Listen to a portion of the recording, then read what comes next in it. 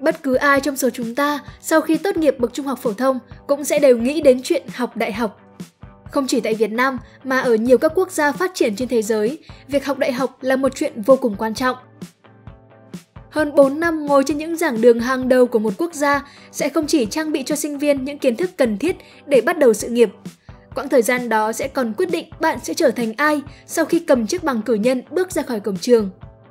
Bởi giờ đây, đại học không chỉ dừng lại ở việc cung cấp kiến thức đơn thuần mà còn chịu trách nhiệm tạo dựng một môi trường giúp cá nhân sinh viên có cơ hội để khám phá và phát triển bản thân. Cơ hội tạo dựng mối quan hệ bạn bè, các hoạt động ngoại khóa câu lạc bộ từ trực tiếp cho đến online, cơ hội được đi làm từ sớm, vân vân và mây mây. Vậy thì làm thế nào để tối ưu quãng thời gian học đại học? Trong video ngày hôm nay, hãy cùng chúng mình đến với bài viết 4 năm đại học làm mình nhận ra của tác giả Lawrence Phạm đăng trên spiderroom.com. Để tăng trải nghiệm video của các bạn, chúng mình sẽ phân chia video thành 4 phần chính như sau. Còn mình là Khánh Linh, chúng ta sẽ cùng bắt đầu video này nhé.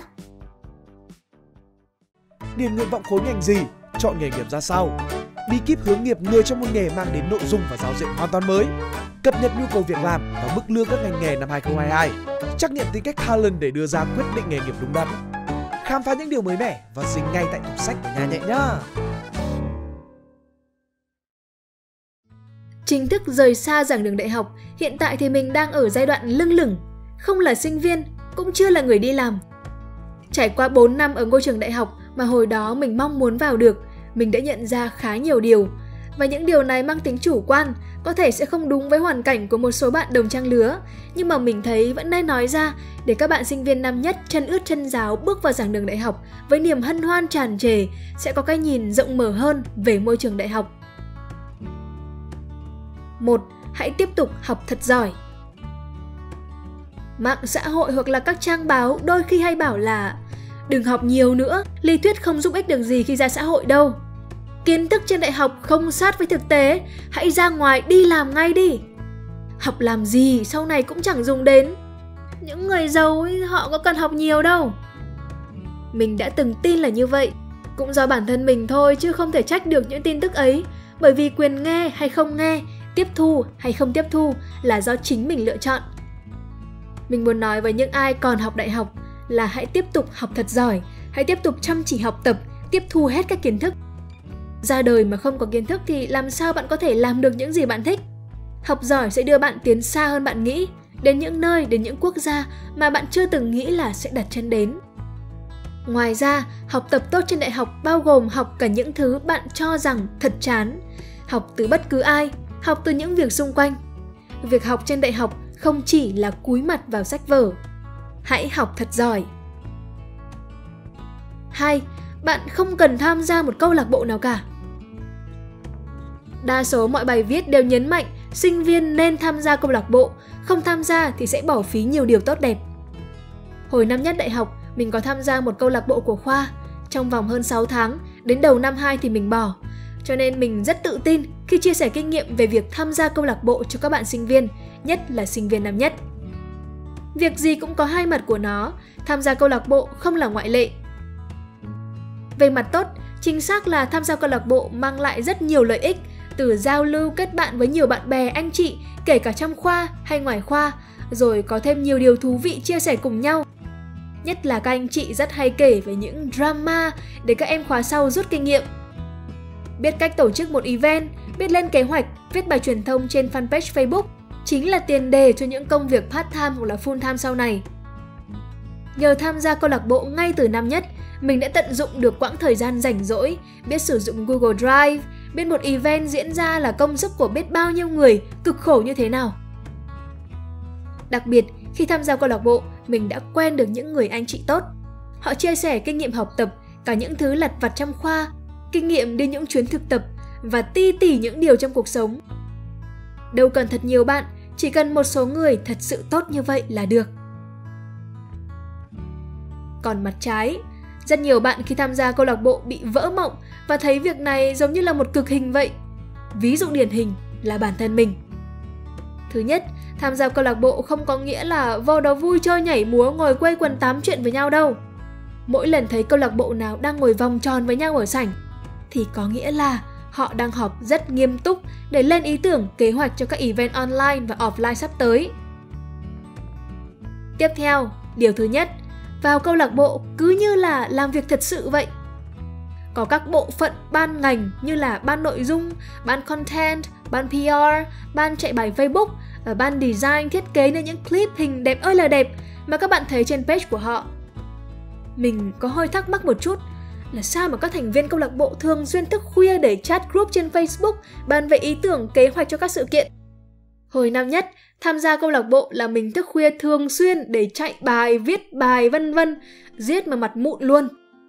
Sau này thì mình hiểu là ai cũng có chuyện riêng của họ, giải quyết việc của họ xong xuôi trong ngày thì tối khuya mới có thời gian cho câu lạc bộ được. Nhưng mình vẫn chán cái việc phải thức khuya. Thứ ba là không phải tất cả những thành viên trong câu lạc bộ đều hợp với bạn. Những hình ảnh mà bạn thấy trên Facebook, các câu lạc bộ túm tụng quay quần kề vai bá cổ là do các thành viên trong câu lạc bộ chơi rất hợp với nhau. Có nghĩa là trong câu lạc bộ, hợp nhau thì dễ làm việc chung được. Bạn không hợp với những thành viên trong câu lạc bộ của bạn hay là họ không hợp với bạn, đây là điều hết sức bình thường. Khi nhận ra bạn không hợp với họ thì bạn cứ ra đi, chẳng có gì phải sợ. Ngoài ra, nếu có cảm giác làm việc được mà không bonding với câu lạc bộ được, bạn đừng lăn tan làm gì, đơn giản là nơi ấy không dành cho bạn. Tham gia câu lạc bộ mà áp lực nhiều hơn sự vui vẻ thoải mái thì mình quyết định không tham gia nữa. Mà câu lạc bộ rất dễ dàng, bạn muốn đi rồi thì ai mà giữ lại làm gì? Tóm lại, bạn không cần tham gia câu lạc bộ, nhưng bạn rất nên tham gia câu lạc bộ. Nhất là khi bạn là sinh viên năm nhất, vì đây là khoảng thời gian bạn còn rảnh và nguồn năng lượng khí thế trong bạn vẫn còn hừng hực. Ngoài ra, rất nhiều câu lạc bộ khác cho bạn lựa chọn trong khoa, trong trường, ngoài trường. Không đậu câu lạc bộ này thì sang nơi khác. Bạn rớt câu lạc bộ, bạn không kém cỏi đâu. Ngoài ra, làm khán giả đến xem và tham gia các hoạt động của câu lạc bộ thì dễ thở hơn nhiều so với làm người trong ban tổ chức. Thêm nữa, câu lạc bộ sẽ giúp bạn có những người bạn, người anh chị tốt, dù chỉ là một người. 3. Bạn đại học sẽ là bạn suốt đời. Có thể điều này chưa chắc đúng với một số bạn, nhưng đối với mình, mình rất đồng ý với nhận định này. Thực ra thì bạn suốt đời cũng không hẳn là chính xác, vì ra trường rồi mỗi người một nơi, không gặp nhau và không theo dõi sát sao được. Nhưng chỉ cần mình yêu quý họ vì họ là những người bạn thực sự, là những người đồng điệu về quan điểm, về sở thích, phong cách sống, sống ngay thẳng hay đơn giản chỉ là nói chuyện hợp dơ. Thực ra lên đại học mình cũng không hẳn là có bạn thân đâu. Đối với mình, bạn thân là người thân cực kỳ thân, như hình với bóng, chia ngọt sẻ bùi, chửi nhau cãi lộn, chia sẻ tất cả mọi điều trong cuộc sống cá nhân. Nhận ra là tiêu chuẩn này quá trẻ con và ngu ngơ, dù lên đại học mình không có người bạn kiểu vậy, nhưng những người bạn đại học là những người tốt nhất mình tìm được. Hồi đầu năm nhất, có một thầy trong khoa nói với cả lớp rằng bạn đại học sẽ là bạn suốt đời.